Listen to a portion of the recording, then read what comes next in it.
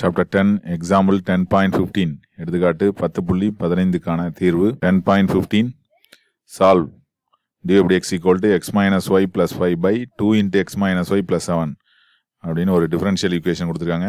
இந்த வைக்கல் சமன்பாட்டை நம்ம தீர்க்கணும்.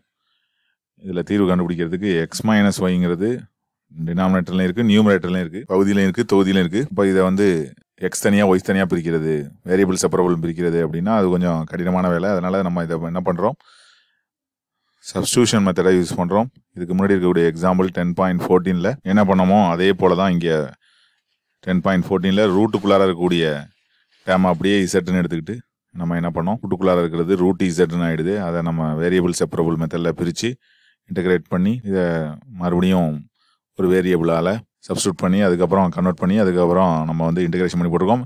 இதில் எப்படிப்பட்ட ஃபார்முலாஸ் யூஸ் பண்ணோமோ அதே போல் தான் இப்போ வரக்கூடிய ஃபிஃப்டீன்த் செம்லையும் நம்ம யூஸ் பண்ண போகிறோம் இது எக்ஸாம்பிள் ஃபோர்டீன்த் சம் இது. இப்போ ஃபிஃப்டீன் செம்லையும் இதே மாதிரி சப்ஸ்டியூஷன் தான் நம்ம பண்ண போகிறோம் இப்போ கிவன் சம் என்னன்னா dy by dx equal to x minus y plus 5 divided by 2 into x minus y plus 7 அப்படின்னு இப்போ இதில் எக்ஸ் மைனஸ் ஒய் தான் நியூமரேட்டர் டினாமினேட்டர் ரெண்டுலேயுமே இருக்குது அதை இசட்னு எடுத்துக்குவோம். Put Z equal to X minus Y Z equal to X minus Y என்க. இதை எக்ஸை பொறுத்து டிஃப்ரென்ஷியேட் பண்ணுறோம் என்ன கிடைக்கும்? D Z by D X equal to எக்ஸை பண்ணால் ஒன்று ஒய்யை டிஃப்ரென்ஷியேட் பண்ணால் டிஒய் பை டிஎக்ஸ் நமக்கு தேவை வந்து டிஓ பை டிஎக்ஸ் தான். அதனால் D Y by X L H S side கொண்டு வந்துடும் அதனால் D Z by D X R H S side போயிடுது. அப்போ one minus D Z by D X இதை இந்த ஃபர்ஸ்ட் ஈக்குவேஷனில் சப்ஸ்டியூட் பண்ணுவோம். First equation the simplifies L H S side என்ன ஆகிடும் D Y by D X பதிலாக one minus D Z by D X ஈக்குவல்ட்டுக்கு அப்புறம் எக்ஸ் மைனஸ் ஒய் இருக்கிறதெல்லாம் Z போட்டுரும். இப்போ Z plus five divided by two into X minus ஒய்க்கு பதிலாக Z plus seven அப்படின்னு கிடைக்குது. அந்த minus D Z by D X R H சைடும் அதை இந்த சைடும் கொண்டு வரும். அதனால் நமக்கு என்ன கிடைக்கும்? One minus Z plus five மைனஸுங்கிறது காமனாக இருக்குது by two Z plus seven அப்படின்னு கிடைக்குது. ஈக்குவல்ட்டுக்கு அப்புறம் டிஇசட் பை டிஎக்ஸ் அப்படின்னு இருக்கு. இதை எல்சியும் எடுப்போம் டூ இசட் ப்ளஸ் செவன் இந்த பக்கம் வந்துடும் இப்போ two Z plus seven minus உள்ளார மல்டிப்ளை பண்ணிக்கோ minus Z minus five divided by two Z plus seven டுவெல்ட்டுக்கு அப்புறம் D Z by D X two இசட்டில் one Z போயிட்டுனா ஒன் இசட் செவனில் five போயிட்டுனா two Z plus two divided by two Z plus seven ஈக்குவல்ட்டுக்கு அப்புறம் டிஇசட் by dx இப்போ வேரியபிளை separate பண்ணுவோம்.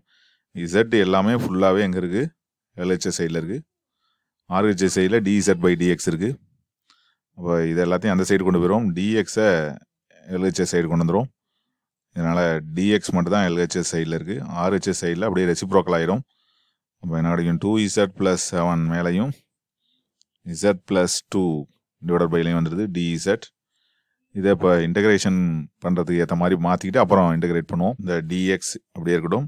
இதை two Z plus four plus த்ரீன்னு பிரிச்சுக்கோம் ஏன்னா பையில் என்ன இருக்குது இசட் ப்ளஸ் டூ இருக்குது அதனால் இப்படி பிரித்து எழுதிக்கோம் டிஇசட் இப்போ இது ரெண்டுலேயுமே பார்த்தோம்னா என்ன இருக்குது?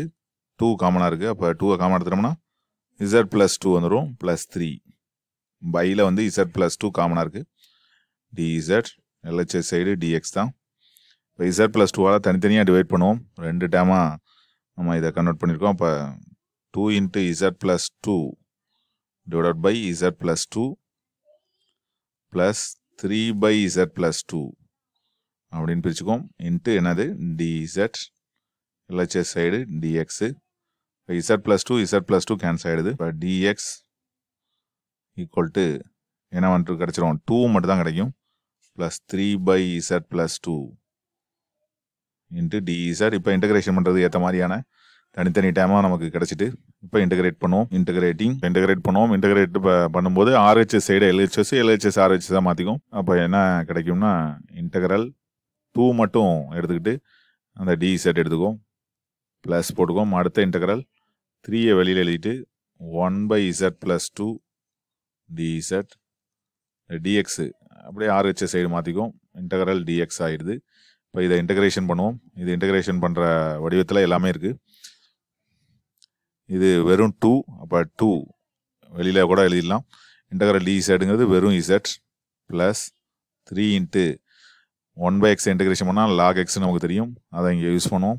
One by D X by A X plus B அப்படிங்கிறது இன்டகிரேஷன் ஃபார்மில் வந்து one by A log of modulus கூட நம்ம யூஸ் பண்ணிக்கலாம். A X plus B modulus of A X plus B plus C இங்கே ஏ இருக்க வேண்டிய இடத்துல ஒன்று தான் இருக்குது எக்ஸுக்கு பதிலாக இங்கே இசட் இருக்குது அவ்வளோதான் இப்போ இதை இன்டகிரேஷன் பண்ணால் நமக்கு கிடைக்கக்கூடியது log of modulus of Z plus two நமக்கு கிடைக்கும். ஈக்குவல்ட்டுக்கு அப்புறம் இன்டகரல் டிஎக்ஸ் வந்து வெறும் எக்ஸு ப்ளஸ் சி அப்படின்னு கிடைக்குது. இப்போ இசட்டுக்கு பதிலாக மறுபடியும் ரீப்ளேஸ் பண்ணிவிடும் அதுதான் நமக்கு தேவையானது. இசட்டுக்கு பதிலாக ரீப்ளேஸ் பண்ணிட்டா ஆன்சர் வந்துடும் இசட் என்னென்னு எடுத்தோம். எக்ஸ் மைனஸ் ஒயின் எடுத்தோம். இப்போ அதை இங்கே கொண்டாந்து மறுபடியும் சப்ஸ்டியூட் பண்ணிடுவோம். Replace Z by X minus Y இசட்டுக்கு என்ன சப்ஸ்டியூட் பண்ணிடுறோம்? எக்ஸ் மைனஸ் ஒய் என பிரதியிட. இப்போ இசட் இருக்க இடம் என்ன ஆகிடும் எக்ஸ் மைனஸ் ஒய் ஆகிடும் இதை இதில் சப்ஸ்டியூட் பண்ணுவோம். இதுதான் நமக்கு தேவையான solution of the given differential equation two into X minus Y plus three into log of modulus of இசட்டுக்கு பதிலாக X minus Y X minus Y plus two modulus complete பண்ணிடும் ஈக்குவல்ட்டுக்கு அப்புறம் எக்ஸ் ப்ளஸ் சி அப்படின்னு கிடைக்குது. இதுதான் solution of the given differential equation இந்த sum அப்படியே அச்சேசலாக ஃபோர்டீன் சம் மாடல்லையே நமக்கு சில வடிவங்கள் அப்படியே கிடச்சிருக்கு.